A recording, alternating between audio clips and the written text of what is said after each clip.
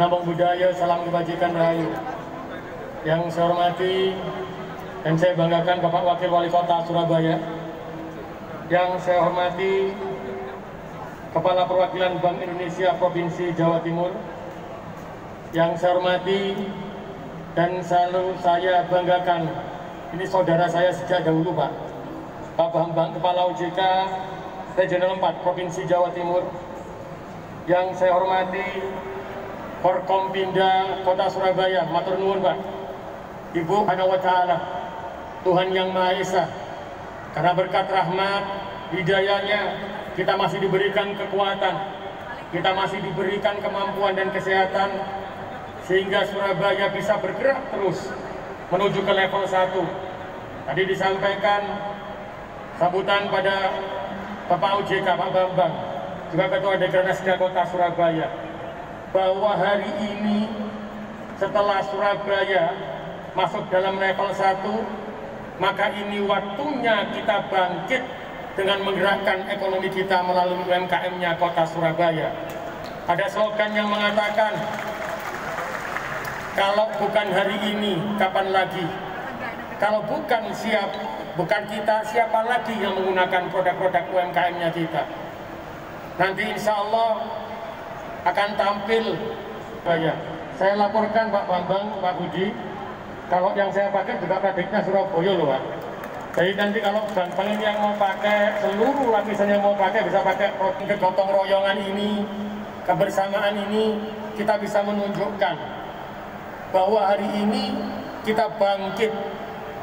Kebersamaan inilah yang kita tunggu, karena Surabaya juga bisa lepas dari COVID-19 pandemi ini, tapi jangan euforia, kita selalu menggunakan protokol kesehatan, menggunakan masker. Di kesempatan yang berbahagia ini saya juga matur nuwun kepada seluruh warga dan masyarakat kota Surabaya. Karena hebatnya panjenengan semuanya karena hebatnya menjaga kota ini dan mencintai kota ini hari ini Surabaya yang terpapar COVID-19 hanya lima orang Inilah kebersamaan kita, kekuatan kita. Tolong jaga terus kota Surabaya, kota yang kita cintai ini. Dan insya Allah pada acara ini di Surabaya Fashion Week kita selalu memasarkan dan mengatakan UMKM kota Surabaya adalah UMKM yang hebat, yang pantang menyerah ketika pandemi COVID-19 jatuh karena tidak bisa memasarkan hari ini kita waktunya bangkit karena jatuhnya kita itu adalah awal dari kebangkitan kita semuanya. Dan pada malam yang berbahagia ini, Bapak Ibu, kami sampaikan juga nanti kita akan Pak yang hari ini saya undang. Ini bukan terakhir. Nanti juga ada pembukaan jalan kunjungan.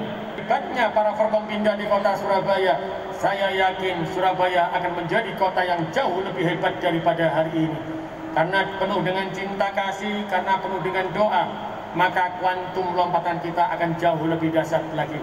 Matur nuwun sekali lagi Bapak Ibu yang selalu support pemerintah kota Surabaya sehingga Surabaya terus bisa bergerak di dalam masa pandemi COVID-19.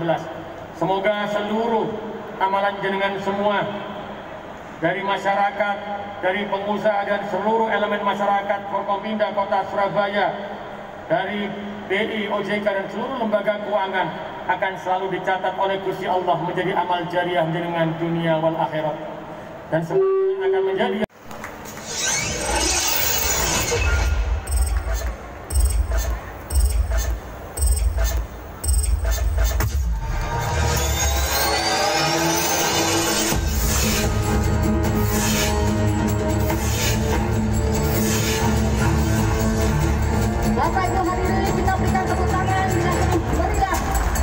Dengan demikian launching Pekan Surabaya dan Surabaya Fashion Week 2021